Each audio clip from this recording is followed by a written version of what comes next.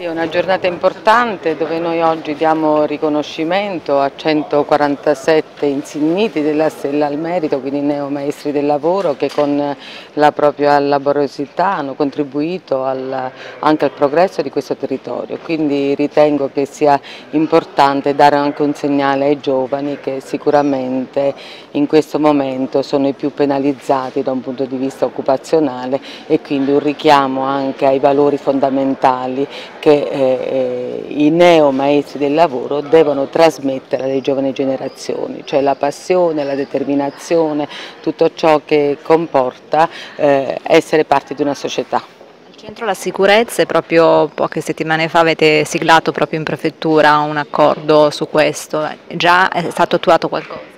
Sì, adesso è iniziato già il monitoraggio, quello ritengo che sia un, un, protocollo molto importante perché ha visto tutte le istituzioni fare rete come dovrebbe essere un po' per tutte le, diciamo, le problematiche del territorio, le amministrazioni dovrebbero trovarsi insieme come si sono trovate eh, diciamo, con un unico intento per cercare di evitare il più possibile che eventi tragici come quelli dell'Amina o altri ancora che ne sono avvenuti perché nel 2017 io lo dicevo dicevo anche abbiamo avuto un numero mh, più elevato rispetto all'anno precedente, quindi questi episodi gravissimi non si verificano più. Per quanto riguarda invece il tema della sicurezza ci sono state moltissime polemiche, anche politiche, la Lega addirittura ha chiesto al governo di eh, sostituirla. Lei pensa che adesso ci sarà un cambiamento visibile agli occhi dei cittadini o non ce n'è bisogno?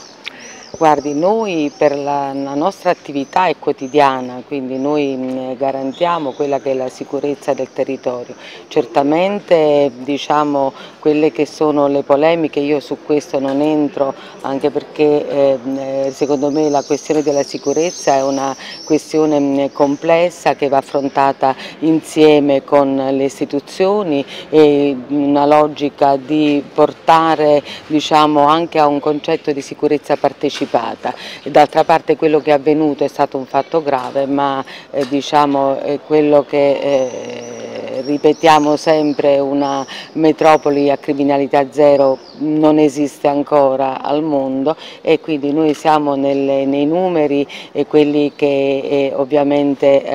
eh, segnaliamo, eh, sperando che ovviamente di poter fare sempre di più e sempre meglio. Posso chiedere cosa intende per sicurezza partecipata, nel senso sicurezza partecipata dai cittadini? Anche sicurezza partecipata anche dai cittadini perché la sicurezza è un bene di tutti, la qualità della vita dipende anche dalla sicurezza e quindi è giusto che, sia, che ci sia una partecipazione da parte di tutti.